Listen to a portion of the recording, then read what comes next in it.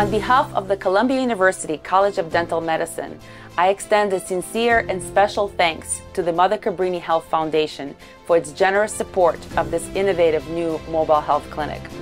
The Foundation's mission to improve the health of vulnerable New Yorkers, bolster health outcomes of diverse communities, and eliminate barriers to care closely aligns with our own, and this mobile clinic advances each aspect of that mission.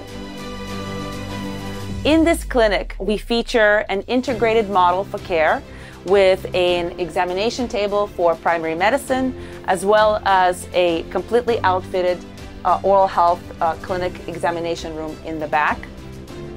We know that this mobile health clinic will help to bring down barriers to care, connect people, and improve lives, while also preparing the next generation of healthcare providers and be a source of insight and research for improving oral health and overall health.